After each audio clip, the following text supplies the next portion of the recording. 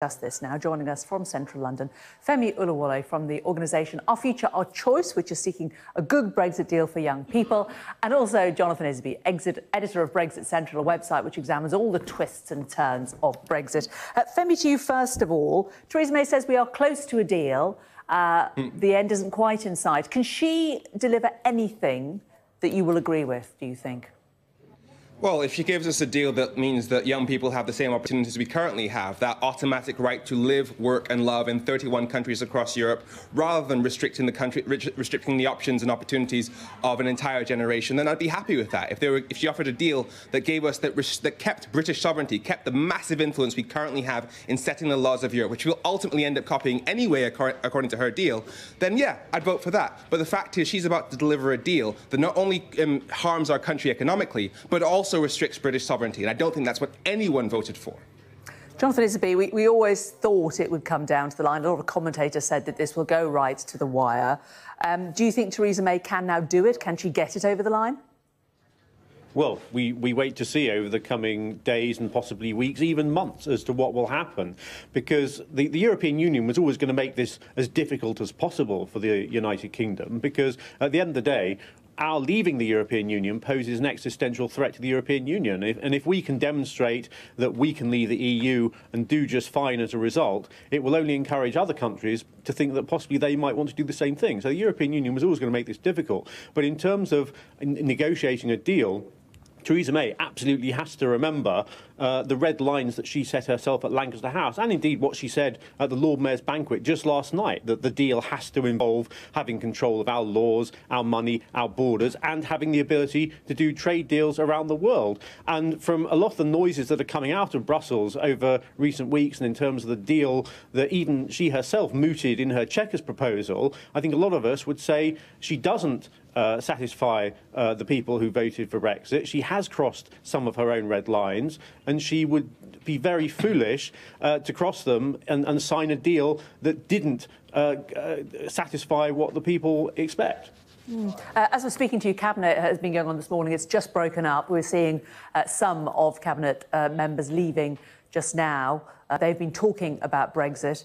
Um, we know that it, they aren't being given a, anything to sign. They're just simply being given a bit of an update. Um, Femi Oluwole, um, when, in, in, terms of you saying people, you know, are, are not getting what they voted for, um, the information was out there, wasn't it, at the time of the referendum? A lot of people are now saying, oh, I didn't know this, I didn't know that. But those who uh, push for Brexit will say the information was out there. You just needed to look for it. It was delivered to homes, it was on websites. People who are now complaining have only themselves to blame.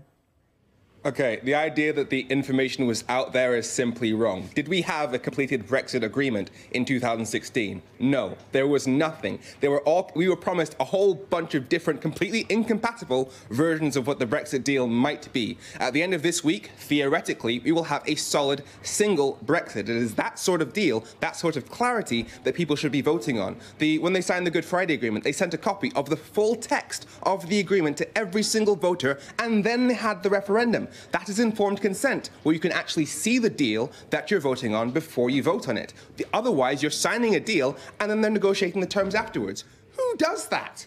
And so, quite simply, the, the only democratic way forward is a people's vote on the Brexit deal. Now, if that deal does not achieve what people voted for, which is more control, a better NHS, and to be better off, then it is categorically not the will of the people. And the only democratic way forward is a people's vote. And that's why young people need to make their voices heard, that we cannot let them trash our future. We have to make our voices heard and get that people's vote. That's what our future, our choice is all about.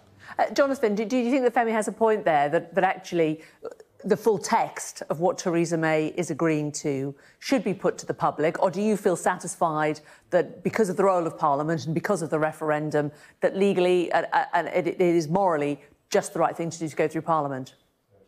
Well, the, the referendum we had in 2016 took a year or in fact 13 months from the moment it was declared it would happen to it actually happening. So the idea that we would go through a, a full 12 months uh, process, uh, I think people would find agonising and actually incredibly divisive and actually would only add to the uncertainty that people are indeed feeling right now. What we had in June 2016 was a people's vote, if you want to call it that. It was the biggest exercise in British electoral history. More people voted for Brexit than ever voted for anything else. And what the Remain campaign said, just as much as the Leave campaign, was that this is your one chance to make a decision about whether you want to be in the European Union or out of the European Union. And the British people made their feelings very clear. It is fundamentally undemocratic to argue that the British people should have no right to decide whether or not the deal that Theresa May has negotiated is good enough for their futures and for their children's futures. We were not given a deal in 2016. We will have a deal at the end of this month. If you are arguing that the British people have no right to decide whether or not what Theresa May has negotiated, especially given that it goes against all the promises and the red lines that she set up, then you're being fundamentally anti-democratic. Jonathan? Look, democracy is that we had that referendum in 2016. And at the general election last year, by the way, uh, both main parties committed to delivering on the referendum result. And every political party that sought to reverse or stop Brexit actually saw its vote go down. Labour, so those Labour, like, so those Femi, like Femi, Femi who those like Femi who want to stop Brexit happening and reverse the result of the of the referendum that we had in 2016 uh, do not find the British public at one with them. Maybe there are those also. Sorry, Femi, but there are those also who will say that you are not listening.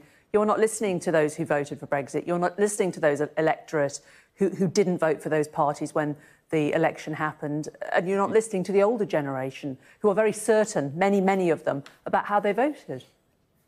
Um, firstly, in, uh, in, in, the 2017 general election, Labour guaranteed in its manifesto that we would keep the benefits of the single market and, the customs union.